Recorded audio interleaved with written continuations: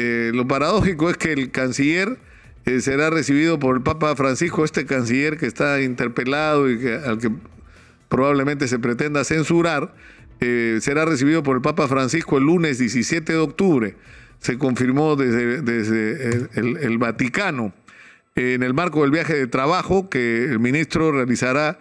y que incluirá Bélgica, Francia, Italia, la Santa Sede y, México. Eh, todos estos países, de, estos el presidente de la República iba a ir a dos. El presidente de la República iba a ir a la Santa Sede, a un encuentro con el Papa, y, iba a ir a, Bélgica,